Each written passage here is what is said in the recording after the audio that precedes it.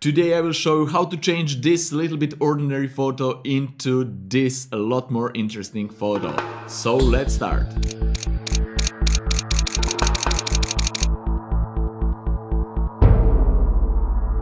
Hi guys, my name is Nemanja Sekulic and welcome to another fun episode. Today as you already saw in the intro we will change this ordinary woman's face photo into some crazy fun text face photo. But for that we will need displacement map. What is displacement map? Well, basically it's depth map in Photoshop that tells Photoshop uh, information about the image depth. For example, if we have this plane and this plane represent 50% gray color, everything what is darker than 50% gray it's in 3D world like hole down below, it's going down below, and everything what is brighter than 50% gray, it's going above that plane, it's going into 3D world. Alright, and now let's jump straight in Photoshop and let's have fun.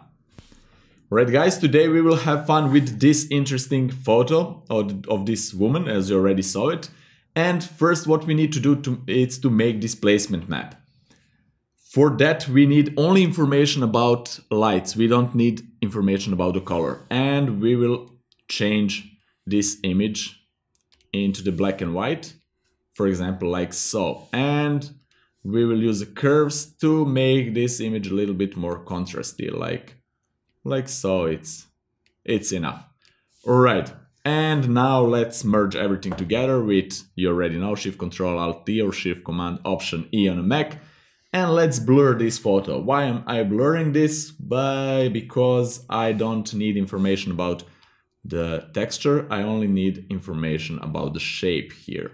And let's blur the texture, something like something like so, maybe even more, maybe 50 or 16, 15, 16, something like so. That's okay. And Let's save this file, save as and save as displacement map. I already saved it before, but I will overwrite it. Alright, that's nice. The next thing what we need to do is to create that fun text for our image. For that I will use word cloud and I will leave the link into description down below. So let's jump onto this website. As you can see, this is the website and you have a few options here you have predefined text here. You can put your own poem, text, anything you want, uh, phrases, etc, etc. This is already text that it's uh, by default on this website and I will use that text because this is just for example. And you have some options here. First you have a number of angles different angles that you want to have in your image. I want to have only two angles because I want only horizontal and vertical text. Okay, and I want one uh, angle to be 0 degrees and another angle to be 90 degrees. All right, and I want to be re rectangular here. And that's great. You can press go here a few times to find the best uh, text position as you want because it's a random generator, something like so. And when you're ready, just go here and download as SVG. When you download that, just go and put it back into Photoshop.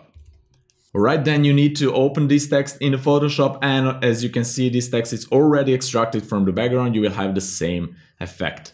And now we need to make this text completely white. So let's duplicate this with Control Command J, just in case we mess something up. And now we first need to convert this text in black and white. For that I will use the shortcut key on the keyboard, Shift Control U or Shift Command U. And now this text is completely black and white and let's use the levels to readjust that, Control Command L and just pull this all the way to the left and now we have completely white text. Let's copy this text and let's go back to this document and paste it here. Okay, now I need to rename it. I will rename it to displacement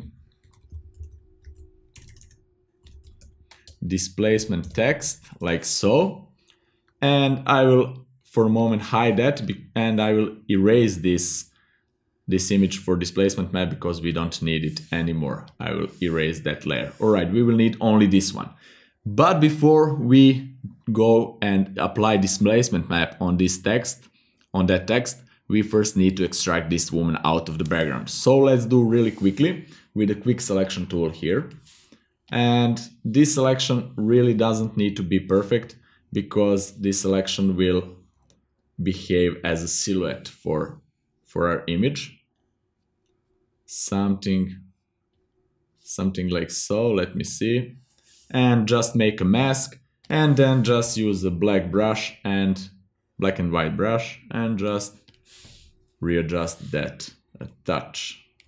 Let me see, I need 100% strength, all right, and something like so. Let me use white brush and readjust this. This is really just as a silhouette, it doesn't need to be perfect. Okay, and let me see just this part here. Great, that's really, really nice. Then I will duplicate that just in case and I will apply layer mask. Right. And let's go to the displacement text and let's add some shadow on that text because we want to have impression of the depth of, of that text. Right. Let's double tap on this layer or double click on this layer and go to the drop shadow option. And I will use 90% angle, that's nice. Let me see. Size of that. Something around 10 it's okay. Let's zoom it right. Distance. This is just your own preference. You can make anything you want here. That's that's okay. Let's say okay and let's duplicate that and have this as a backup version. Let's put it down below and create group and rename backup all right the next thing what we need to do is to rearrange this text to cover whole face of this woman.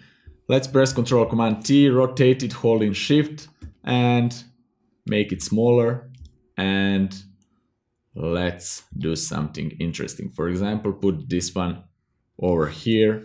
Then just copy, I will use this move tool and hold Alt or Option key on the keyboard and just move it and copy that here. Then I will uh, I will overlap the text here with the previous one because we will have impression that this text is over this down below text and that will add that depth effect to, to the final image you will see later but use this overlap uh, overlap effect right then copy here we can rotate it like so make it even smaller all right and now everything is just copy paste and overlapping. Be sure to overlap that because later it will be better all right we can make this even a little bit bigger maybe put it over here right then put it here. Let's flip it horizontal. Just play with that just have fun let's rotate it like so put it down below maybe here and make it smaller something like so maybe. Then let's duplicate it make it even smaller put it here. Okay then another one here another one here. Then let's put it somewhere here. Then let's go to the most uh, higher layer this one oops sorry let me see Okay, then duplicate it with Control Command J and let's cover some holes here. That's nice. Duplicate it again. Maybe put it here. You need to choose amount of uh, these layers, the number of these layers to have a little bit dense image, but not too dense. You will see, try experiment and you will find the right, right uh, number of these layers for you. All right. And now when we did all this, when we reposition all these layers, let's uh, click on the first one and let's go all the way down below, click on the last one and press Control or Command E to merge everything into the one layer as you can see here. All right, and let's add one, one black layer down below, fill it with black and that's really great. And let's fix this a little bit because I didn't do I didn't saw this because I didn't have a background layer, but it's okay. It doesn't change anything. All right. And now what we need to do is to go here and to load displacement map on this text.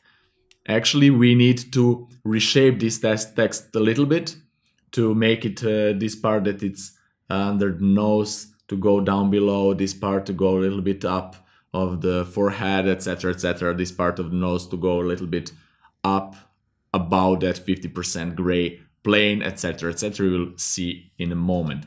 As you can see now, if I zoom, everything it's in one plane. And if I go with the text layer selected, I go to the filter, distort, distort, and go to the displace here, and I have displace the dialog box.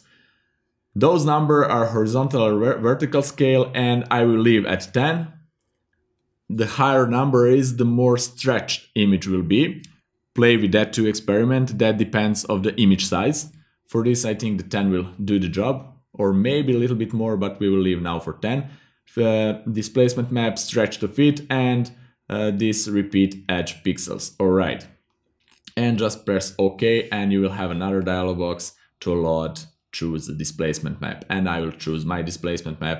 As you can see, bef before and after, see, before and after and you will see even better the effect when I do something in the next step. That will be to load this selection with uh, holding control command key and load that selection as a layer mask on this layer down below. Just press on layer mask. That's great.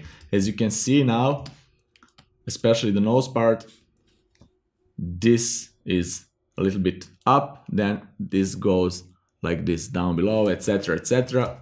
Sorry, what's happened here, all right? And let me see, this part it's nice, this part it's nice, that's really nice, around the lips, it's displaced a little bit, it's curved, here it's curved, that's really, really nice. Maybe I can put the higher number, let me just see, let's undo a few more times, right? Let me see, the text it's in one plane, great.